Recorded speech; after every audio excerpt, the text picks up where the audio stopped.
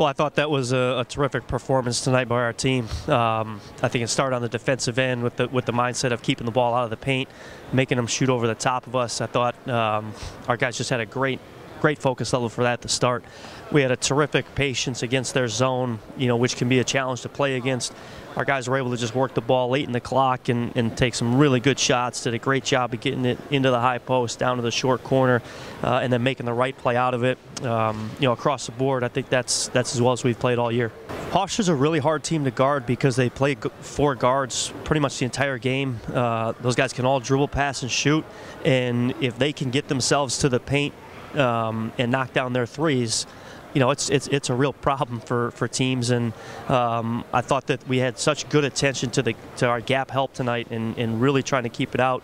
Nate was unbelievable with his ball screen coverage early, um, and that just set the tone for us wanting to, to really keep the ball in the paint. And then when they did get their looks from three, I thought we did a phenomenal job contesting and, and making them really tough, and um, you know, it was it was enough for us tonight. Yeah, I thought our guys had a great focus offensively for what we were looking to do against their zone. Um, we talked a lot about just we, we needed to play with a lot of movement. We needed to get guys in and out of the high post. Uh, this team is really good defensively when you just kind of stand in your spots against a zone, which which you can do against a lot of zones. But the way that these guys match up, you know, you have to move more and you have to spread them out. We did a great job getting guys down to the baseline, whether it was a short corner or the corners, just to really stretch the zone.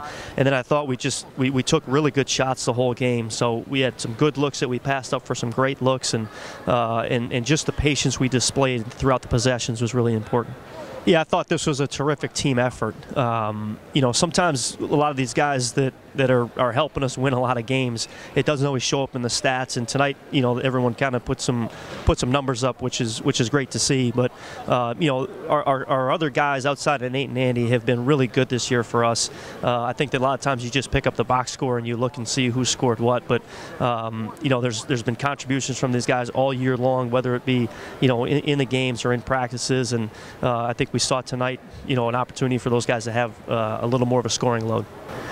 Well, I think that it says that we, we need to start playing some more home games. First of all, all right. um, I, I'm, I'm just I'm pleased with the way that this team has just gone about working and preparing. Um, we, we go into our, every game I think with with a really similar mindset of just let's go out there and play as well as we can. Um, you know, you play the games that are on your schedule. We've never looked at it and said, you know, why do we play three home game or three road games to start or, or anything like that. You just just go play the game and, and, and worry about the things that we can control and play as well as you can Uh, I think this group has really embraced that and, and certainly did a great job of that tonight.